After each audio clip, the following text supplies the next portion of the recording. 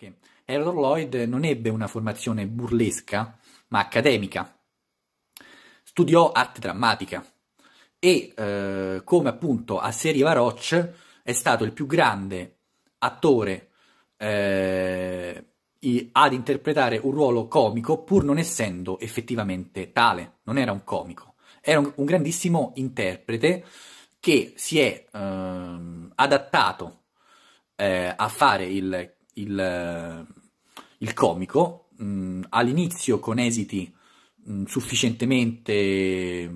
buoni ma non eccezionali e con il passare degli anni adottando eh, quegli occhiali eh, così particolari da uomo comune, mh, da, da, ragazzo della porta accanto,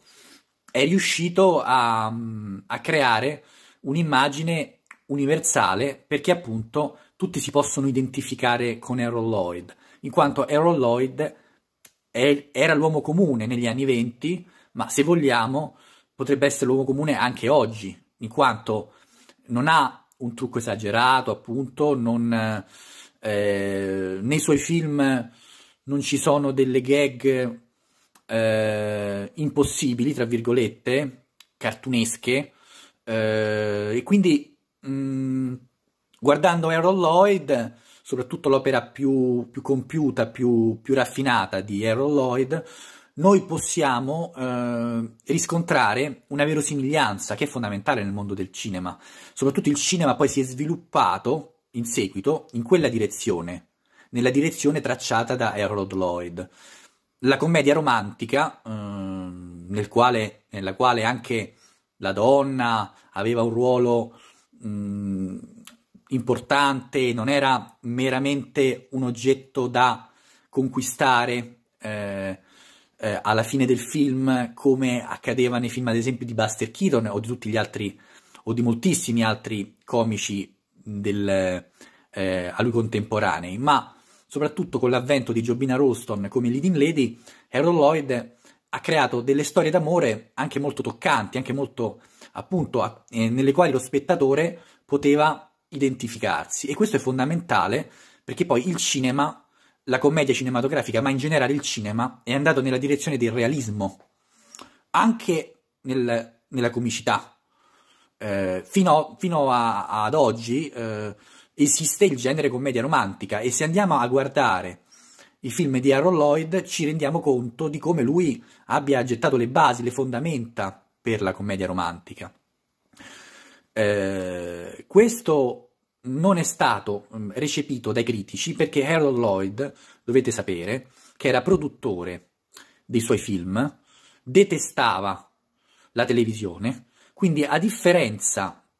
eh, di tutti gli altri suoi contemporanei, eh, non eh, ha goduto quando negli anni 50, 60, 70 c'è stata una, um, una massiccia distribuzione di questi film in, in tv del, per una riscoperta ecco, del, delle comiche, del, del cinema muto, eh, perché lui appunto, come stavo dicendo, era produttore, deteneva i diritti di tutti i suoi film che aveva realizzato eh, in autonomia dal 1920, eh, dalla metà degli anni 20, dal 1925 in poi, e aveva acquisito i diritti, pensate un po', addirittura de, dei film che aveva girato prima di essere produttore, quelli con la Roche, con la Rollin, eh, che mm, era la casa di produzione di, di Roche prima ancora eh, che si mettesse in proprio, quindi mh, mm, aveva, mh, si era assicurato tutta la sua produzione cinematografica. Aveva nella sua residenza rigogliosa californiana tutti i 16 mm, i, i 35 mm, i negativi originali, forse anche qualche scarto, non possiamo sapere quello che, che lui avesse, ma aveva preso tutto, tutto. Aveva preso tutto quello che si poteva prendere e, ed era anche abbastanza geloso di, di quello che poteva, di quello che, mh, che aveva fatto. Non accettava le pubblicità, non accettava gli intermezzi, eh, anche un grandissimo eh, come Stan Laurel non accettava tutto ciò in, in, quel periodo, ma lui non poteva permettersi di, eh, in quanto non disponeva dei diritti dei, dei, lavori che aveva girato con Oliver Hardy, di fermare questo scempio, eh, quello che lui riteneva uno scempio quantomeno. Harold Lloyd era eh, il detentore mh, della sua opera e poteva farlo, quindi questo blocco eh, non ha permesso eh, ad Harold Lloyd di essere eh, apprezzato eh, dal, mm, dai posteri come è stato apprezzato eh, Buster Keaton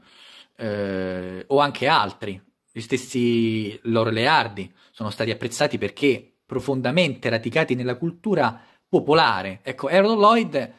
apparteneva alla cultura popolare fino agli anni 20, eh, 30, poi è scomparso dai radar. Dunque, gli stessi critici, quando sono andati a studiare eh, per diventare critici, non hanno eh, avuto a disposizione il materiale necessario per contestualizzare l'opera di Lloyd. È rimasto così sul vago. Cioè, veniva considerato un comico un po' figlio dei suoi tempi, eh, con, della, un, con, una spinta ottimistica propria degli anni, eh, dell'epoca del, del, del, jazz, degli anni venti, eh, che ormai era un po' datata, ma non c'è niente di più assurdo di questo, perché se andate a vedere dei film, i migliori film di Harold Lloyd, non solo Safety Last, che è un capolavoro assoluto, citato persino da, da Marty Scorsese, ma ehm, ci sono tantissimi altri, eh, tantissime altre vette eh, insuperabili di Lloyd. Eh, voglio nominarne qualcuno, Girl Shy, un film eh, veramente geniale, eh, la cui parte finale fu imitata addirittura nel film Il laureato della fine degli anni 60, per far capire l'impatto che ebbe sui, sui, su chi lo vide negli anni 20. The Freshman, che, che diede vita alle commedie basate sulle università statunitensi, sui college americani, film spassosissimo, perfetto, era un attore versatile, eclettico, poliedrico, straordinario, Harold Lloyd. Posso nominare The Kid Brother, film mh, a cui non manca nulla, non, manca, non, man- non ha tempi morti, no, non mancano le gag, non manca la suspense, non manca anche un, un, una bellissima appunto storia d'amore tra, tra lui e, e, la protagonista femminile Jobina Ralston. Mm, come posso non citare Speedy, girato a New York, nella New York di fine anni 20? Come posso non, non citare un film con una fotografia eccezionale, con ogni sequenza calibrata in modo magistrale, eh, divertente dalla prima all'ultima inquadratura? eh, i film son, eh, di Harold Lloyd sono tecnicamente perfetti, direi superiori anche a, a, quelli di Buster Keaton. Perché Buster Keaton però viene oggi più apprezzato rispetto a Harold Lloyd? Perché è stato sicuramente visto maggiormente dalle varie generazioni che si sono susseguite e in seguito, diciamo anche un po' per la sua apparenza così particolare, un po' astratta, che eh, ci porta mh, a riflettere probabilmente di più di quanto i film di Harold Lloyd ci potrebbero portare a fare. Buster Keaton è stato un grandissimo, un gigante, eh, semmai ne parlerò in un altro video, ma Harold Lloyd non era assolutamente inferiore a Buster Keaton.